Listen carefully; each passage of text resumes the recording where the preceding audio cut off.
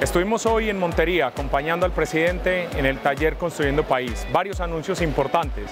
Primero, vamos a presentar por el Sistema General de Regalías, con conciencias, un proyecto para construir el Centro de Innovación en la vitrina.